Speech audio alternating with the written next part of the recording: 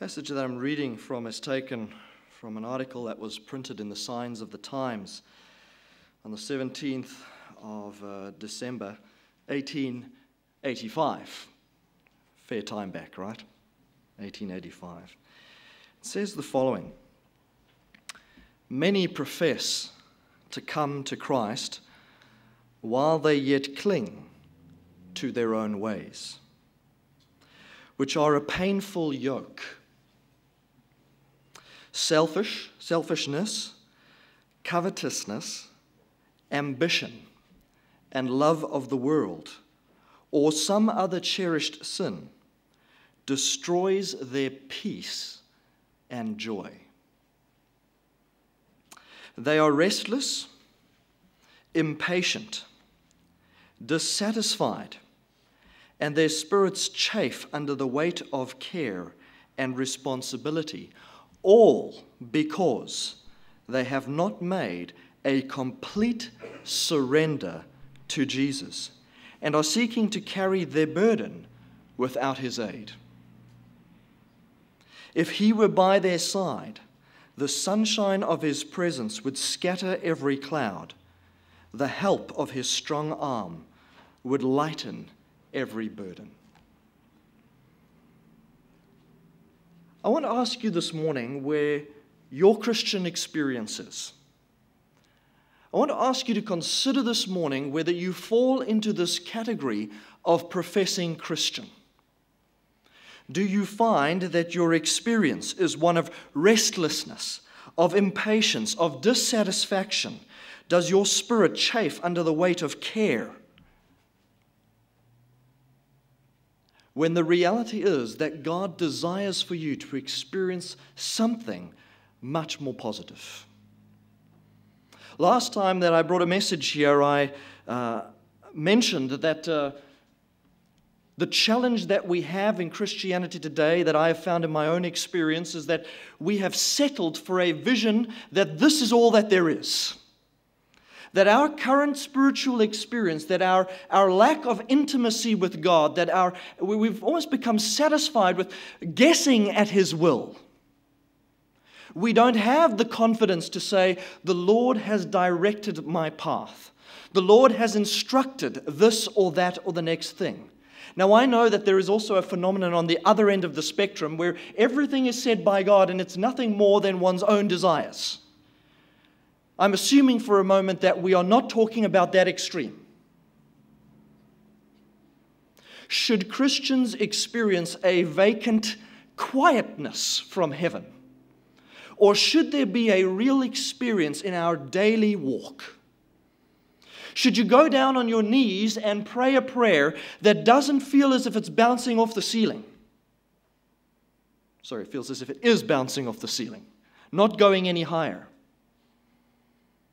Or should there be a vitality in our prayer experience? Now, I'm not, again, to warn you about the other extreme, I'm not advocating a religion of feeling. There are times, to be sure, when we are tempted and harassed when it does feel like maybe no one's listening. I'm not talking about that. I'm talking about this experience that I found, found myself so easily given over to the experience of just an ongoing sense of disconnect from God, going through the motions, going through the routines, reading the Bible, perhaps even praying, and just not really getting connected with God. It brings me to the promise in the word in 1 John 1, verse 9, where it says that if we confess our sins, he is faithful and just to forgive us of our sins and to cleanse us of all unrighteousness. Now, this is an amazing promise to me because I've been thinking about my Christian experience, and the Lord has been taking me on an interesting, yet I must say, painful journey as of late. Painful journey. Sometimes we have this idea that Christianity is all about the roses, it's all about the good feelings. And to be sure, through the forgiveness of Christ, there is that experience. But before you get to that experience, there is often a path of painful introspection that the Spirit leads you through. a weighing of your character and of your motives and of your intents and of the thoughts of your heart against that law of God, which brings condemnation.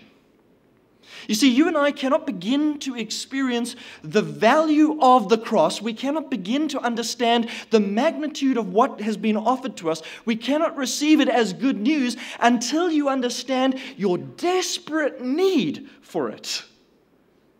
This idea in the world that guilt is a bad thing, that guilt leads to bad things, that guilt is what results in people becoming depressed and anxious and suicidal and all the rest. This idea that guilt is the enemy is a fallacy.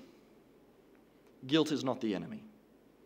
Guilt is the tool in the hand of God to lead you to a place of healing and restoration. What is the enemy is when guilt is not dealt with biblically. When that guilt is allowed to remain in our hearts and upon our minds, when we are weighed down by that guilt because we cannot get rid of it, either because we do not know about confession to God or because we will not surrender it to God, it is then that that guilt becomes like a cancer of the spiritual soul and it begins eating us away from the inside. And undealt with, yes, that guilt will lead to our demise. But it is not guilt that is the problem, it is the failure to take the medicine that is offered by the great physician. The world of psychology would have you live in a place of blissful denial of any sense of guilt of any sense of wrongdoing. It is explained away as mere choice and relativism and relativity. What's good for you is good for you. Your sexual orientation, the way you think about things, your desires. Embrace them, is the teaching. Embrace them and learn to live with them. Make them work for you. And the, this is the very means that God is appointing the sense of guilt to drive us in search of a cure. Challenge you this morning what is your Christian experience like? Do you live in the experience and in the joy of sins forgiven, or, like many, are you seeking rather to deal with guilt your own way, live in denial of your guilt, try and embrace, try and absorb, an unwillingness to relinquish, to surrender the guilt and the practice to God? Because the good news is that if we confess our sin, if we hand it to God, the promise is that He will forgive that He is faithful, that He is just. And I pondered over that phrase for some time, many years back, and I began to wonder why does it say that He is faithful and just? Okay, the faithful part I get. After all, when we confess our sins, He is faithful. That means the moment I confess my sin, the only variableness is on my side as to whether I will give it to Him, but His faithfulness demands that the moment I have given it to Him, He acts on it through forgiveness. The faithfulness I can grasp, but what is this just? Why does it say He is faithful and and he is just to forgive us our sins. What does justice, what does his just character have to do with the concept of forgiveness? And suddenly it dawned on me that at the cross, righteousness and mercy kissed one another. Suddenly it dawned on my understanding that at the cross it is not only the faithfulness of God that hangs him upon the tree, but it is the justice of God that insists he drink the cup to the full. He is not only faithful in bearing our sin, loyal to us as a human race despite our unfaithfulness to Him. He is not only the one who will not be turned aside from His loyalty to us, but He is also the one that deals with the problem in a way that meets the just requirement. In other words, when He forgives you, it is fair for Him to do so. He has not simply ignored the problem, turned a blind eye to his favorites in the class. He's not just making as if it doesn't exist or sweeping it under the rug, so to speak. But when he forgives you, it is just and it is fair because the righteous requirement of the law has been met in the dying person of Jesus that law which demanded the death of the transgressor has received the death of the Almighty God, the one whose character and being is on a par with the law, for that law is a description of his own character. God has taken upon the cross, He has taken the punishment of sin onto His own being. You see, this is what, this is, what is amazing to me about the plan of salvation. He doesn't just choose to ignore the problem, but He receives into His own being your rebellion, your sin, your waywardness, every sin you have committed, every sin you will yet future commit was borne by Christ Jesus on the cross that day. Every sin he made full atonement for, past, present, future, covered in that once and for all sacrifice. That atoning sacrifice complete for every sinner, every person regardless of whether you accept it or not, regardless of whether you confess your sin or not, He bore it, He paid for it. So that when the sinner comes to him and casts their sin, their bundle of sin, being borne on their shoulders in their own strength, causing them guilt, causing them pain, causing them gloominess, causing them isolation, causing them withdrawal from society, unable to enter into the fullness of mature, loving, vulnerable relationships, always carrying that sense of guilt. When they cast that burden off of their shoulders at the foot of the cross, he says, It is dealt with by my faithfulness and by my fairness, so there is no way it can ever come back to you. In the divine audit of the heavenly judgment, when it is examined as whether it is fair to forgive you or not, it will be seen that God is not only faithful to you, not only loyal to you, for your salvation. But the way that he has done it has been absolutely within the keepings of the principle of justice. Because the consequence of sin has indeed been borne by one greater than you, intrinsically sinless, but taking your place. The demands of the law were met. So when you confess your sin, he is not only faithful, but he truly is just. He is, in other words, entitled to forgive you. There's a nice word entitled. In a world where entitlement is the order of the day, you owe me. The government owes me. Everybody owes me. That sense of entitlement. Well, God has a sense of entitlement to forgive you because He paid the price. It is within His right to forgive you, He is entitled to forgive you. He is faithful and He is just to forgive you. But the verse doesn't end there, does it? He wants to do a lot more than that. And He is entitled to do a lot more than that. He has the right not only to forgive you by virtue of what happened at the cross, by taking your sin, dying in your place, but He not only forgives you, but cleanses you of all unrighteousness. This verse contains everything you need to know in seed form about what it means to be a saved Christian. The good news is that he does more than roll away your guilt. The good news is that after having rolled away your guilt, he says to you, Here is a spirit of empowerment. I want not only to forgive you, to write acquitted next to your name, and leave you in the place of helplessness, and leave you in the place of despondency, and leave you in the place of, of, of being unable to live a godly life such that you are constantly compelled to come here on your knees all the time. But I want to do more than forgive you. I want to bless you with the heart that Adam and Eve had in the Garden of Eden before they sinned. I want to bless you with a love for righteousness. I want to bless you with the same loyalty I have for you. You would have that loyalty to me. I want to bless you not only with acquittal or forgiveness, I want to bless you with a new life, a practical reality something that you take with you beyond the hour of prayer and confession.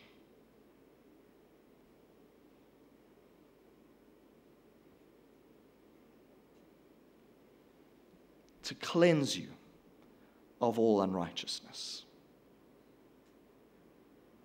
Now, I've gone over an interesting journey when it comes to this issue of sin on confession. Listen to this interesting statement, Christ Object Lessons. It says that the righteousness of Christ will not cover one cherished sin. Oh, Adrian, yeah, you go. This is the part where we all get very uncomfortable. What is he going to say next? What theological direction is this pastor steering us in here? Those of you that have been in Adventism for a little while will know kind of what I'm hinting at there. But listen to this inspired counsel. The righteousness of Christ will not cover one cherished sin. What do you do with statements like that?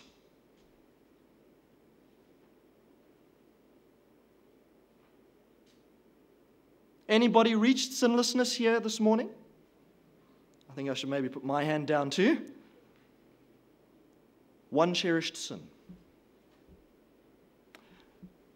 The key to understanding that phrase is the word cherished. Cherished. What does it mean to cherish? It means you love, it means you adore. It means you are loyal to. It means you cling to. It means you will not give it up. It means you do not want his help. It means I like it, period. Hands off, Lord Jesus. 99% you can have, but this thing, no. I like this thing. The righteousness of Christ will not cover one of those types of sin called cherished sins. Those sins that you are not willing to let go of, those sins that you are not willing to confess, those sins that you are not willing to relinquish. A man may be a lawbreaker in heart, yet if he commits no outward act of transgression, he may be regarded by the world as possessing great integrity. You see, because we only see what's on the outside.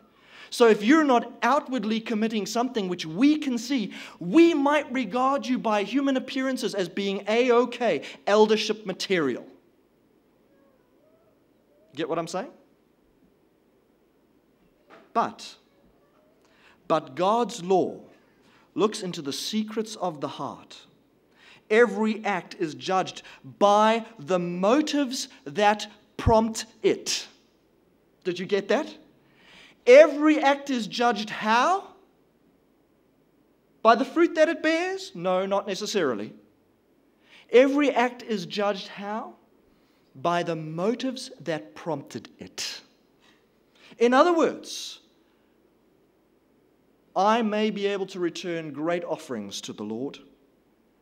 I may like the fact that I'm able to return to the Lord great sums of money, and I may even like for others to see that and recognize that. What has just happened to my motivation? Who's it all about? Who's the giving in aid of? Is it an act of worship out of gratefulness for what the Lord has done, or is it a way of self exaltation? Self exaltation. Which means you've done the right thing outwardly, returning the tithes and the offerings, but God judges it as sinful because the motives that prompted it were impure, impure and tarnished with self. It's a bit of an uncomfortable sermon today, isn't it?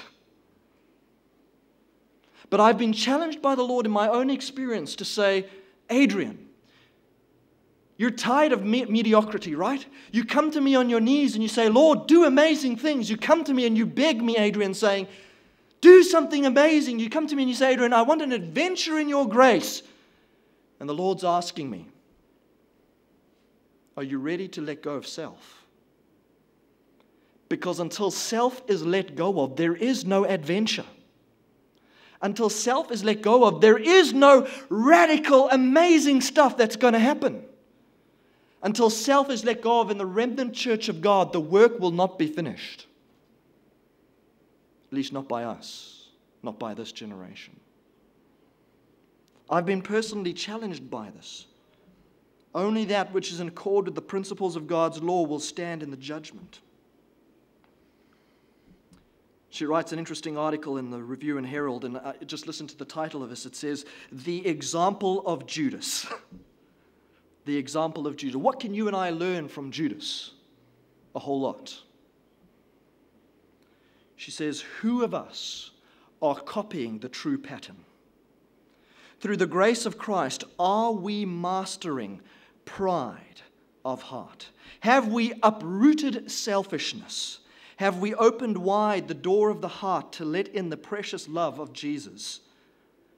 Or are we cherishing sins that will ruin us at last?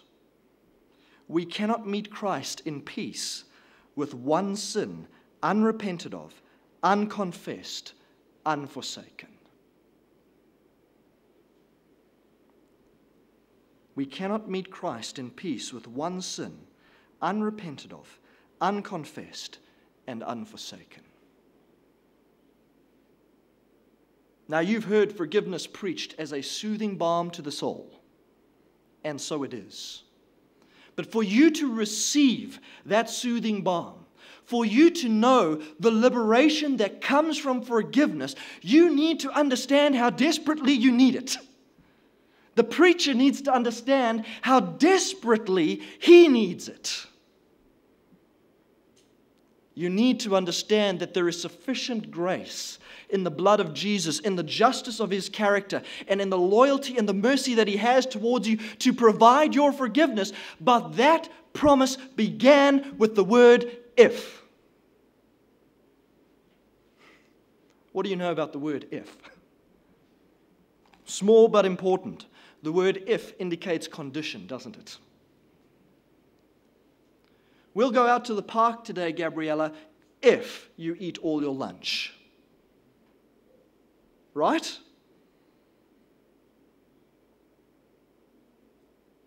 You see, what this promise is saying is that you and I can rest assured that there is no sin that cannot be covered. You and I can rest assured that there is sufficient loyalty on the side of God to ensure that what is confessed to Him will be forgiven there is sufficient justice in the character of God that there will be no comebacks. There is sufficient power in the blood of Christ to do more than forgive you. He will also cleanse you and empower you, give you a new heart, a new life, new motivation stemming from within, a transformation that is not forced from the outside like a cloak covering filthiness and corruption on the inside, but that the cleansing of the blood of Jesus not only acquits you, that there is sufficient power that you and I will be truly transformed from the inside so that it begins to happen naturally, so the outward actions, the outward outward words, the attitudes of our hearts are genuinely motivated by something that has changed on the inside. That is the difference between Christianity and all other false religions of works. In all other religions, you are trying through the external control, through the power of your own mind, through positive thinking or whatever it is, to transform your behavior in the hopes that by doing that, it will change who you are on the inside. But it will never succeed. Christianity stands alone in the world of religions as saying, no, you cannot do it. First, there must be a change of principle on the inside it will work its way out in a transformation of behavior and lifestyle. And that's why we always say that our works, we do not do them to be saved, but they are a result of being saved. When I go down on my knees and I confess my sin, acquittal is written next to my name. And if it is the genuine article, something takes place on the inside so that I'm not only forgiven, but I am transformed, cleansed of all unrighteousness. The result is that I get up from my knees with the Spirit of God as my aid, with the angels beside me to guide me, to strengthen me, to warn me, to encourage me. There is a transformation, a change of principle on the inside that overalls the outside. Now, the challenge is this in, within the church, there are two groups of people, and both may be appearing to act on the outside in the same way both may give assent to the doctrines of truth, persuaded by their coherency, persuaded by the beauty of truth. But one is not living a, a life of genuine power, of true conversion. One is living a life of the forced externals, trying to bring myself into subjection to these behaviors, this way of living, in the hopes that God will accept me, in the hopes that I will experience transformation, doomed to failure. There's another group, looks the same. Looks the same, doing the same things, paying the same tithe, returning to God the same act of obedience, but it's coming forth as a fruit from an internal transformation. How do you know which group you are? Because if you are a self respecting Seventh day Adventist this morning, you are going to be looking like a Seventh day Adventist. How do you test for yourself and know which group you are? And the key to it was in that opening paragraph. You see, you may be able to fool me, fool the elders and the deacons, you may be able to fool your husband, your wife, or even your children by the correctness of your outward deportment, how you carry yourself. But you alone know in the quiet recesses of your mind whether you are connected to God or not. Let me put it this way if you question whether you are, that's probably a good indicator. Because when you are, you will know the experience. Follow what I'm saying? Or let me spell it out further. Go back to that quote. Are these the hallmarks of your experience? Is this what your Christian experience is like? Like restlessness, impatience, you know, the sense of, you know, I'm a little bit bored with this. What, what, what can I do? What can I fill my time? You know, I don't, you know, there's just not that sense of connectedness restlessness, impatience, dissatisfaction, spirits chafing under the weight of care and responsibility. Why? Because it gives us the cure. They have not made a complete surrender to Jesus. One sin, unrepented of, unconfessed, unforsaken. You see, there is, there is a condition to the forgiveness of God. Now, it is not a condition of works, so don't even go down that theological road with me. It's the condition of confession. I like the way in the spirit of prophecy there it's, it's equated a few words so that you can understand this better. What is this confession? Because again, there's another misunderstanding. You know, it's like this idea that, you know, if there's anything that I, I haven't been able to remember from the day I was two that I didn't specifically confess, that thing can't be covered. No, that's not what this is referring to. When you receive Jesus and you confess to God, it is the equivalent of forsaking, the equivalent of repenting, the equivalent of surrendering. You see, true confession is the act of surrender. So when we say there is a condition to forgiveness, it is not a condition of works. You do not flagellate yourself, whipping yourself, climb up the highest mountain, inflict pain on yourself, give greater offerings. That would be works to earn the favor of God, to show Him and prove that I am worthy of His forgiveness, that I'm so sorry for what I've done. No, no, no, no, no. That's not the condition. The condition is that you surrender it to God unreservedly, committedly. It's yours. I'm done with it. In other words, I don't want anything more to do with it. That's what real confession is. Real confession is not. Real confession is not, Lord, X, Y, Z, this is what I've done. Please forgive me. You know I'm going to do it tomorrow. You get what I'm saying? Lord, please forgive me. I've just done this thing, but my intention really is to continue tomorrow. See, that is not confession. That's an insult to the intelligence of God.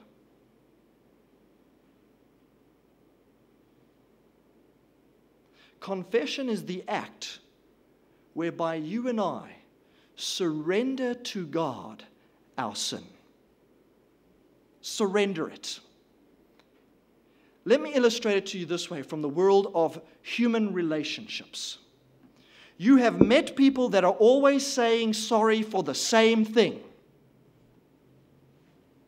Right? And they are sorry because They know that they've incurred your disfavor. Maybe you're not benefiting them anymore, not giving them money anymore. I don't know what it may be. You, you look at your own experience. You know what it's like. You can discern when somebody is genuinely saying sorry with no ulterior motives they only want to get it off their chest, acknowledge their wrongdoing because they perceive that it has hurt you, it is hurting them. They want it removed. They want the barrier taken away. They want your relationship back. They don't just want your stuff, they don't just want your favors, they want you back in their life. That is true confession, right? But you all too well know from your own world of relationships that you get another class of person. They're not interested in you or your relationship. They come to you to say sorry because somehow, through what they've done, they have hurt themselves, disadvantaged themselves. Uh, am, I, am I making sense to you? Are you sort of following what I'm saying? When you confess to God, what is it that motivates your confession? Do you desire a restoration of the relationship? Or do you simply desire an escape of some temporal consequence or even hellfire one day? Do you confess because you want the benefits of God, but you still want to cling to the old way of life? Because that kind of confession does not meet the condition. If we confess our sins. It is really, at the end of the day, such a simple, simple condition, isn't it? But what God is looking at in the act of confession is where is the heart in the experience? Where is the heart? Now, let me warn you off another danger so there's no misunderstanding here. We recognize weaknesses of the flesh.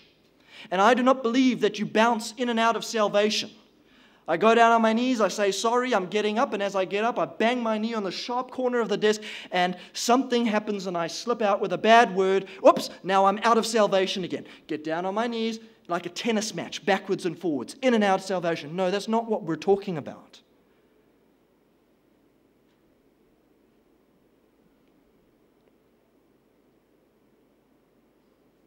If we confess our sins, he is faithful and He is just to forgive us our sins and cleanse us of all unrighteousness. The other night, I go to bed. I go to bed and I can't fall asleep. I can't fall asleep because as I'm lying there in bed, my mind will not stop. Because I know that feeling when the Spirit of God is saying, Adrian, you need to talk to me tonight before you go to sleep. Now, I don't just mean a casual conversation. Adrian, you know that there's something we need to talk about. So I engage in prayer. Lying in my bed, I engage in prayer.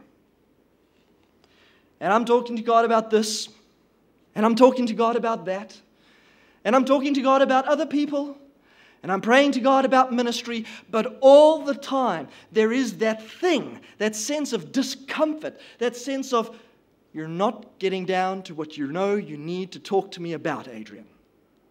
You know what it's like when you visit someone? You've got a burden on your heart. You know there's an issue that they are in denial of, skirting around. Everything's always just, hi, how are you? It's fine. Everything's great. But you know that their heart is burdened. You know that the, the life forces are being wearied away. And you're listening and you're waiting and you're hoping that they will open their heart to you. You know what it's like when you've done something wrong against a friend and you're visiting with them and everybody knows what's going on, but no one's saying anything. Does that make sense to you? You know that there's something you should be saying, there's something, but it's all small talk, it's all chit chat. How much of our prayer life is spent like that with God? Small things, chit chat, maybe even important things, but it's not what you are in need of most. You see, here's the dialogue that was going on in my own mind while I'm at the same time talking to God. There are these thoughts that are flying around in my own heart, in my own mind, and my own ethical constraints are saying to me, Adrian, you really can't raise this issue. You really can't talk to God about this thing. I'm dialoguing with myself. You know, you can't talk to Him because He's not a fool. And Adrian, you know that you're planning this thing again.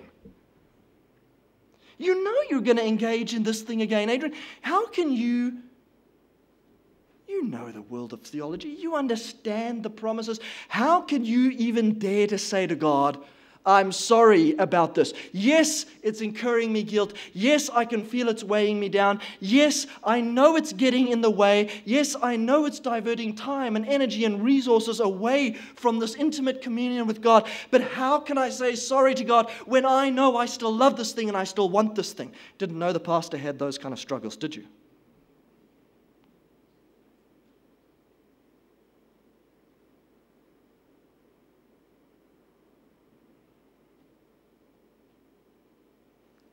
How much of our intimacy with God is lost because you and I, you and I, do not confess our sins in the fullest sense of the word. How many of you and I confess in the sense of, Lord, I've incurred some guilt. I need restoration of this relationship. Uh, probably in about 12 to 24 hours, I'll probably be doing it again. You know that in your heart, but you're saying, Lord, forgive me this time. Now, I know that there is a struggle with self to be won, and I know that that struggle is strong. And I know that there are times when we fall more than once in a certain area of sin. I am not trying to make out like that doesn't happen and that there's no forgiveness for that. But it comes down to the motivation of the heart. Is the confession genuine? Is there a real willingness, in other words, not only to find acquittal, but to be free of this enslavement? And I was so sick and tired of going around that mulberry bush with the Lord. So sick and tired of me knowing there's something I need to say to Him but being unable to because I also know that I like this thing. And I was so sick and tired of the mediocrity of my own personal spiritual experience because there's no real connection when that happens. There's no real peace that flows. It's always just skirting around the edges of spirituality. You know, it's always just, like I say, sitting in that room with that someone who you know you need to say something to, but you really don't want to. You really just try and avoid it and gloss over it. So sick and tired, Adrian, of that kind of experience with your God. That finally, lying in my bed that night, I said to the Lord, We have gone around this thing for long enough. You know I love this thing. You know I enjoy this thing. But I also know that you have called on me to give it up. My God, take it from me. Forgive me. I don't want to go back there anymore. And suddenly that sense of disconnectedness disappeared. And that sense of rest and the ability to close my eyes and sleep and know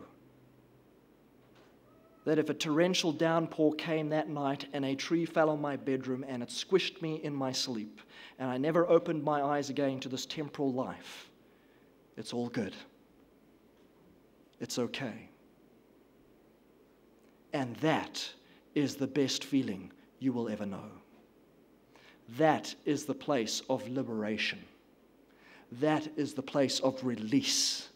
That is a place when you begin to sing with your heart those words that have been penned by, the, by, by, by those who wrote those age old hymns years and years ago, men of deep Christian piety and experience. Men like the apostles in the New Testament that's the place where you begin to realize that there is actually power over my sin. That there is actually an internal transformation that comes about. That I don't have to live my life in this tennis match backwards and forwards and backwards and forwards, but that there is a real release and a transformation that comes to, comes to be. I want to ask you this morning when last you experienced confession. When last you knew your acceptance with God And that though there were sure to be things in the future that he was going to talk to you about, that at this moment and at this point in my journey, given my length of years, given my knowledge, given my privileges, which is not the same for any one of us, so I cannot stand in judgment of any one of us, but given your experience, the light that you've had shining on your path, have you, when last have you had that experience where you know? That you are accepted with God. I would dare to venture that just like me, there are secret places in your heart and in your lifestyle. And I hope I'm completely wrong about that. But this is what I've come to understand as the necessary preparation to meet the Lord in the clouds of heaven. The necessary preparation that you and I must acquire before that time of trouble comes upon this world, such as never before. This preparation of a complete and absolute surrender to God at every stage of your Christian development. That right now, where you are, with the light that is shone on your road, the truth that you've been exposed to, the knowledge that you have, and the conviction that the Spirit has laid upon you, that those things are given to God. You know, when you fail to do that, you stagnate.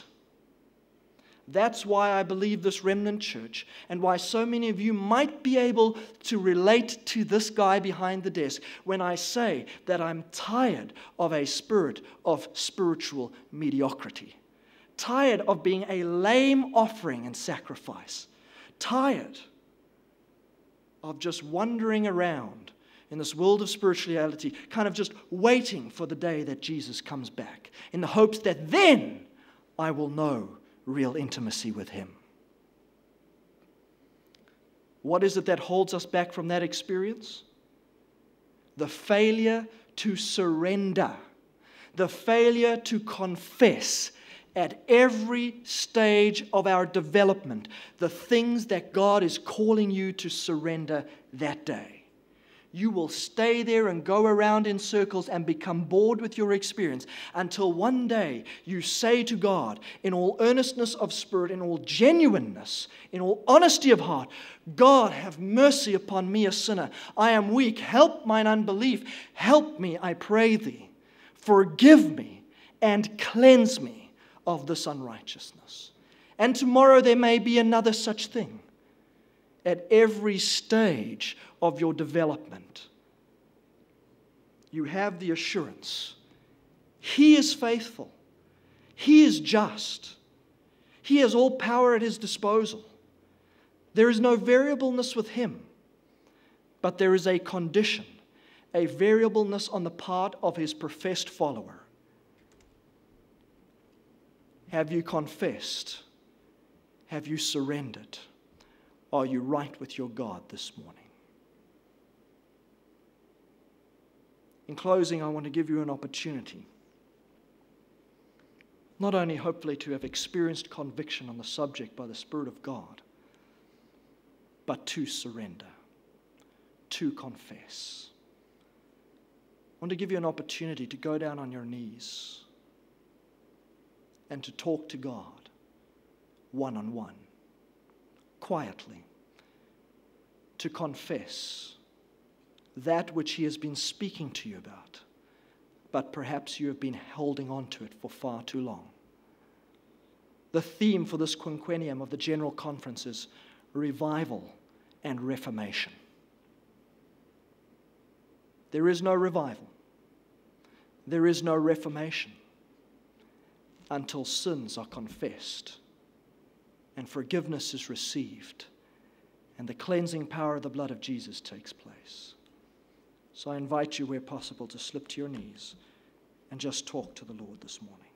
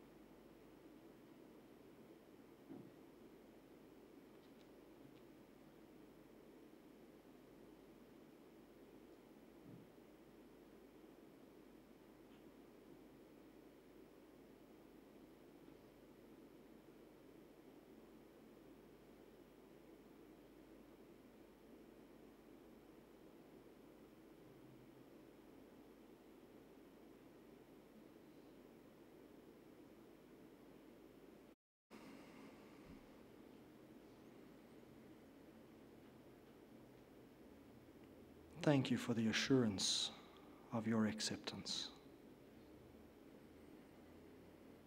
Like Israel of old, like Daniel the prophet, we must confess that we are a rebellious and a wayward people. There is too much, Lord, in our lives and in our homes. Too much of the love of the world. Too much of its principles of action. Too much, too much of its ethics and way of doing things. That there is a higher experience that you have called us to an experience which we have been slow to grasp the vision of, let alone comply with. Will you breathe life into our souls this morning, Lord, even as you did for Adam in the Garden of Eden? Will you cause your Spirit to blow upon us that we may know freedom from guilt? And the joy of salvation. Will you implant within us a heart of flesh with motivations that are received from the throne of grace? May we see the world around us differently. May we respond to our challenges differently. May our spiritual lives be born from within instead of forced from without. Will you give to us this morning, Lord, a knowledge of sins forgiven? Will you receive us again as your children and as your sons and daughters, heirs of the heavenly kingdom? Lord Jesus, thank you for the gift of Calvary. Thank you for the assurance of your faithfulness and of your justice in your dealings with us and in the provision of this great gift of forgiveness. All to Jesus we surrender. All to him we freely give. As our prayer in Jesus' name. Amen.